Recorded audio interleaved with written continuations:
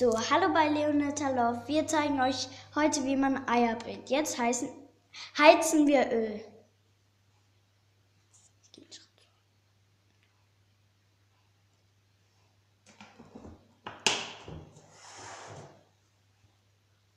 Ihr schlagt ein Ei auf, was Jan gerade in der Zwischenzeit macht. So wird es dann aussehen. Hier seht ihr zwei Minuten, zwei Methoden, wie man ein Ei brät. Einmal das normale und einmal das kaputte. Zeit, wenn das Ei äh, weiß ist und hier alles noch äh, fest ist, nehmt ihr euch das Ei. Und man muss es natürlich auch salzen.